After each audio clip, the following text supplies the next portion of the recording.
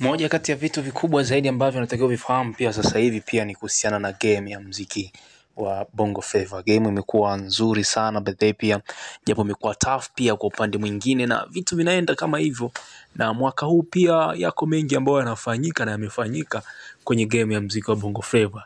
DJ Miso Misondo ni moja kati ya washikaji ambao wametajwa sana pia na amekuja ghafla, ana timu yake jamaa, kama unavyofahamu, alikuwa mfuatiliaji mzuri pia wa mitandao ya kijamii. Amekuwa na timu yake ambayo by the way pia imekuwa ikifanya vizuri sana pia kwenye game ya mziki, anatengeneza biti zake fulani hivi, ana mix mziki. Baadaye katoka Mtwara kaja Dar, baada ya kuja Dar akakutana na Rayvanny wakafanya bonge moja na ngoma pia, na baadaye pia taarifa ambazo zinasemekana sasa hivi zipo kitaani ni kwamba DJ Miso Misondo anaweza ijiunga pia akafanya goma na msanii Harmonize. Si ni moja kati ya vitu ambavyo pia tumekuwa tukivifuatilia zaidi pia kwamba Harmonize anaweza katajwa pamoja na Miso Misondo, na inasemekana wamekutana pia kipande cha DSM kujadili pia kuhusiana na hiyo ngoma yao. Kubwa zaidi ni kwamba taarifa ziko nyingi sana mwanangu, unaweza ukasubscribe hapo ukalike ukacomment na ukashare ukazipata taarifa nyingine nyingi zaidi na zaidi. Karibu sana, hii ni Talanta